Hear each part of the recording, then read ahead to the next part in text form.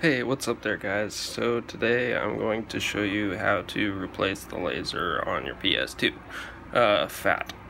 So depending on which model PS2 FAT you have, um, there's different model types. Uh, sometimes they have to do with the first two beginning letters of the serial number, uh, depending on what laser you need.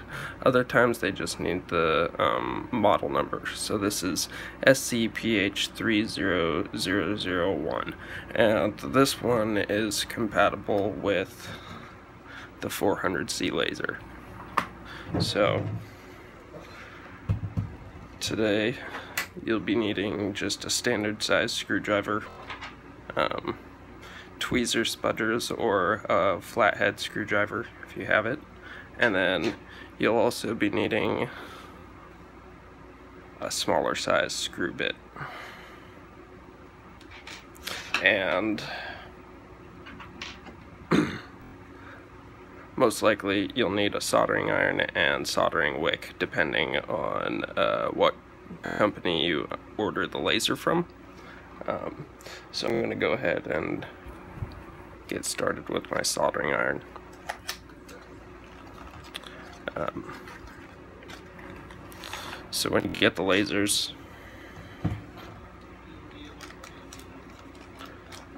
oftentimes they have a small blob of solder on them, uh, which will prevent the laser from reading discs. Um, see this uh, this little itty bitty blob of solder right there. You're gonna want to take that off.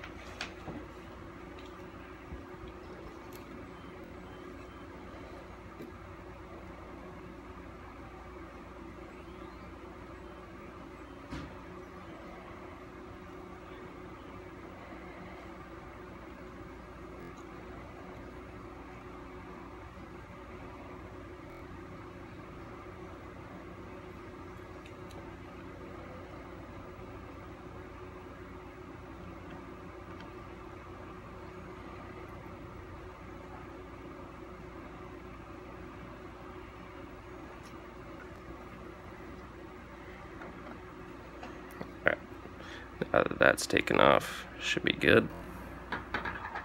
Set that to the side for now. And then we get started on this buddy. So first you're going to want to remove your uh, your old warranty sticker and you can uh, use a razor blade or screwdriver to get this off or just peel it off. Doesn't really matter that much anymore because it's been years since uh, they were valid.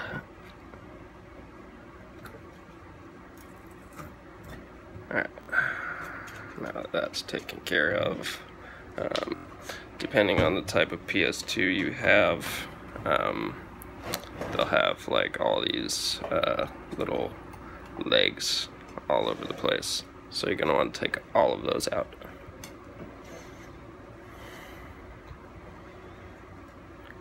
And the little rubber ones are the actual legs. Um, fitted to uh, raise the console and not make it scratch whatever surface. And then the rest of these are plastic. Um, so just remember when you put it back together to uh, put the rubber ones on the part that's going to lay flat on your uh, on your surface.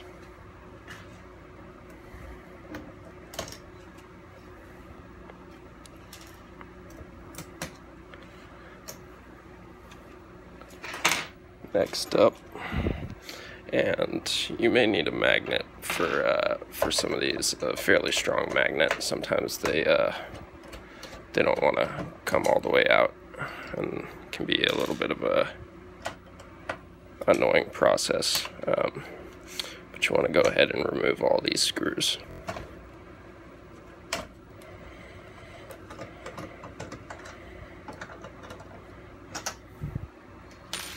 And some of these screw sizes are different as well. Um, I believe from if the uh, if the console itself is standing um, standing upright from what we would consider the bottom if it's standing upright so it goes from big and small so on this one in particular um, four big screws uh, at the bottom and the middle and then four small screws at the top.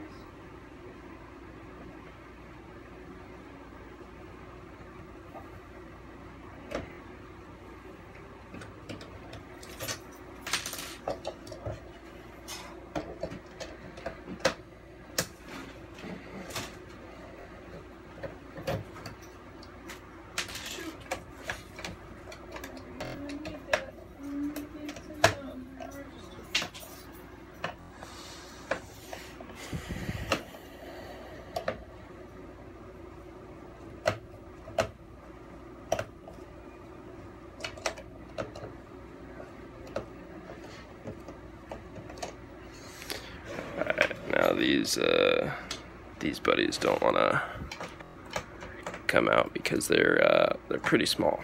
So and you can either use uh, use a magnet or uh, use uh, your spudgers or uh, flathead screwdriver. I'm going to use the magnet.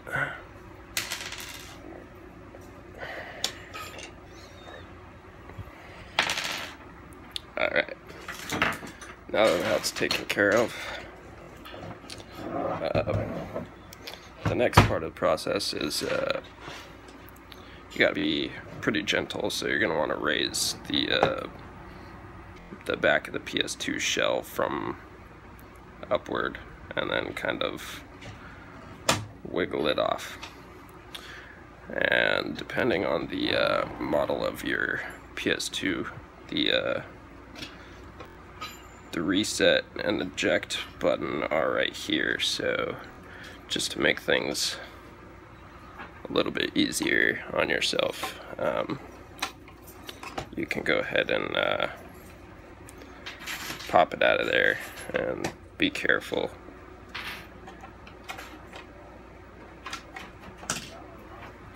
That way, the whole top of it is out of our way.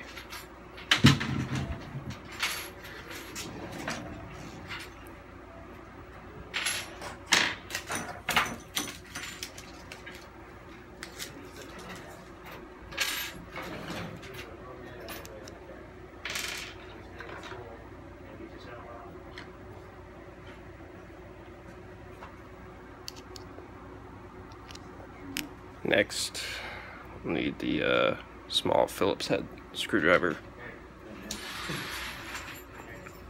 And take out all these screws.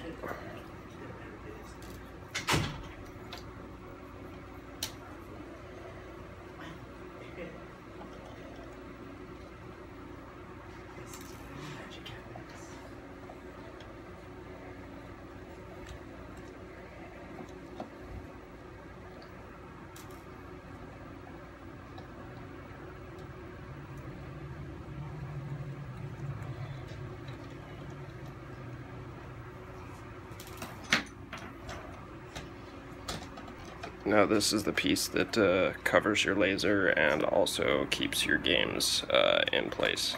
So this is an important piece. But we're going to set it to the side for now. And then take off the uh, disc tray.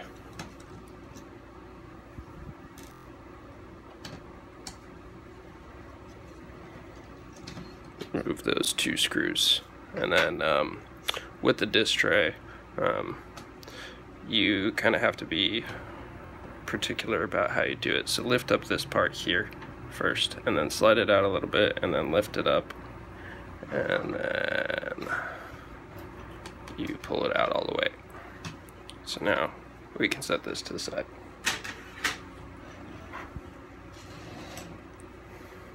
Next up, we want to remove this screw here.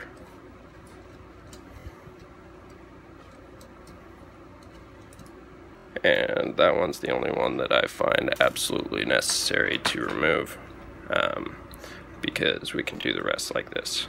So just lift this side up.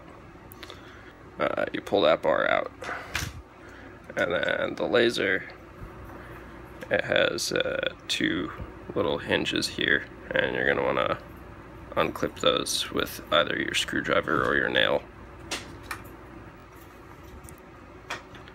and then depending on where you order the laser from you may not get this piece with your laser. So we can go ahead and uh, recycle that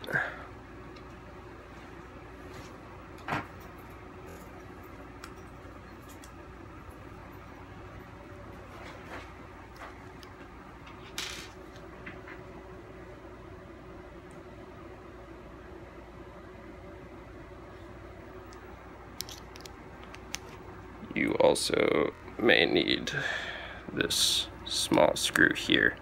So this requires uh, a very small torque wrench. Um, I believe you may also be able to get it out with a very, very small uh, flathead screwdriver. Um, but typically, um, you want to lube up these bars um, and then lube up the tracks as well uh, very lightly. Um, but I'm not going to do that today. Today I'm just going to work on the laser.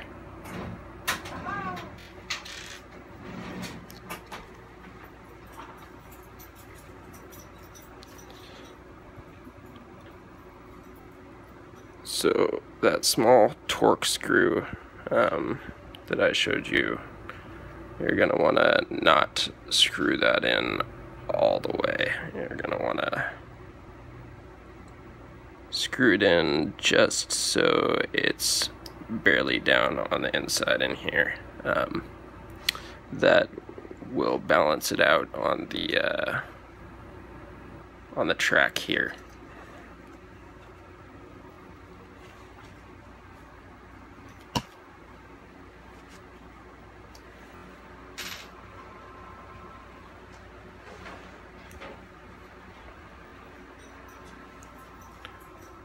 Next, I'm going to put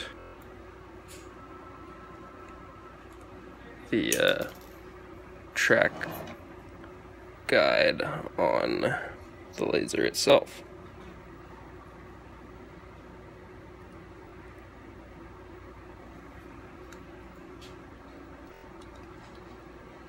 And you don't want to do that super tight, um, just to where it's uh, tight and flush with the laser there. So we're gonna go ahead and uh, insert the uh, track bar in here. And then for this one, you uh, pop out those little legs like you did with the uh, with the other one that you're taking out.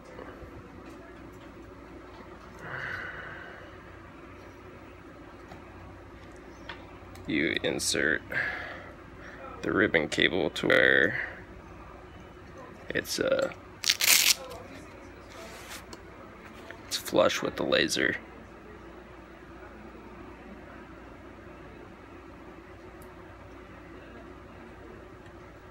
Once that's in there nice and good you pop those little legs back up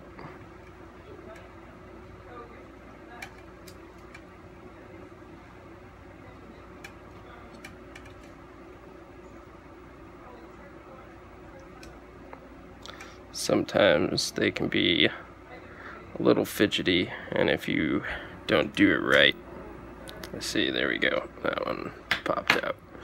If you don't do it right it'll either pop out or have issues um, connecting. So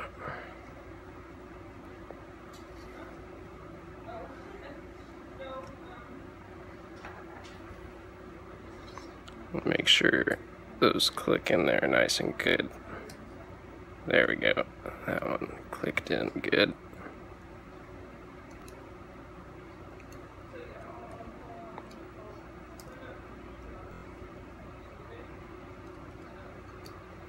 Alright. So now we're set. We can lay this back in on that track there. Uh, and insert the bar make sure it um, it goes into this part here first and then you can lay it flat down.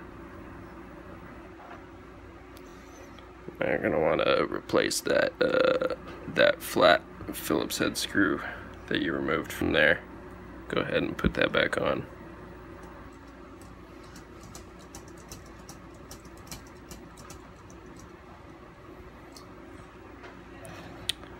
and then next is the disc tray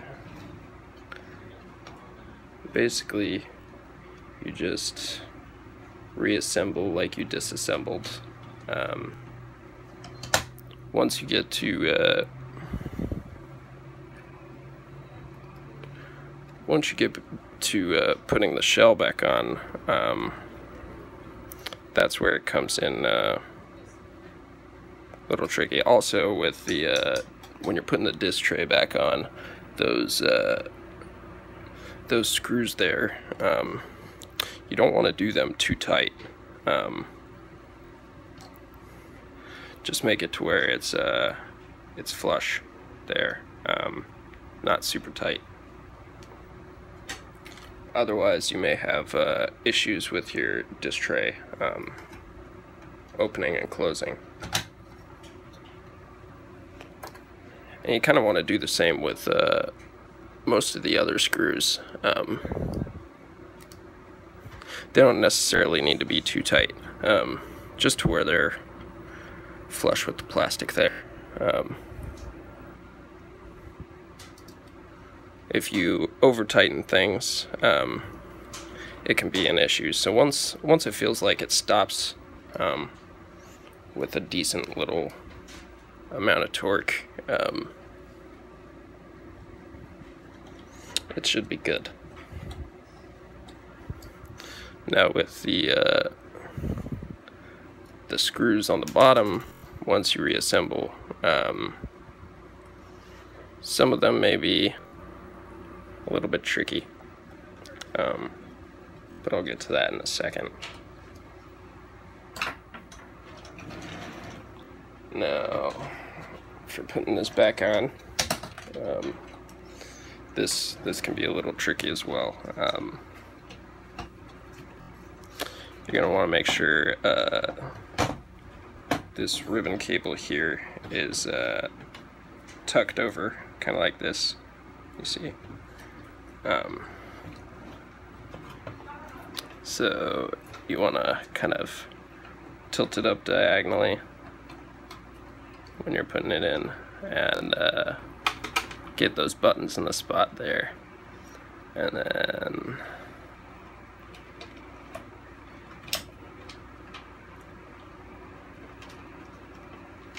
there's a little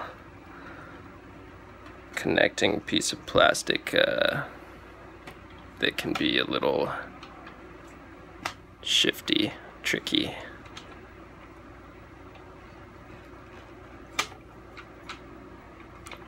There we go. And then once you have that on there, you want to make sure uh, that ribbon cable lays flat there. So you want to reassemble like you disassembled and have this part go first and then lay it down in the back.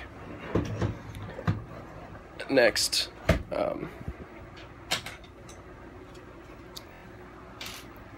with all the uh, underside screws that we uh, disassembled, I found that uh, when you reassemble them, um, I don't know if anybody was taught this old trick, but uh, sometimes they, they just don't want to do it. So you turn it left until you hear it click, and then turn it right.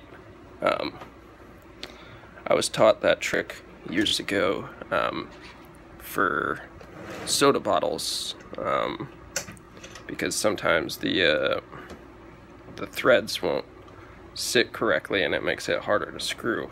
Um, so if you turn it left um, first until you hear it click, um, you, will have an easier time getting it back together. So I'll just pop those two screws back in and um, don't forget to uh, make the uh, four rubber legs into the corner. Um, but there you have it. That's uh, that's a laser replacement for PS2 FAT. Um, so if you found this uh, video helpful, uh, like, comment if you'd like, um, subscribe if you want. Um, hopefully this helps you out for your uh, PS2 FAT and um, you won't have any issues anymore. Um, most commonly, uh, blue discs don't get read, but also um, PS1 discs won't read when uh, um, when you need a laser replacement. I would also recommend uh, getting your discs refurbished before you go about putting a new laser in. Uh, just do that with disc repair services. Um, if uh, if you do need a laser replacement, though, um, by all means, go ahead and do it. Uh, but that's how you replace a PS2 FAT laser. Um, so thanks for watching, and have a great day.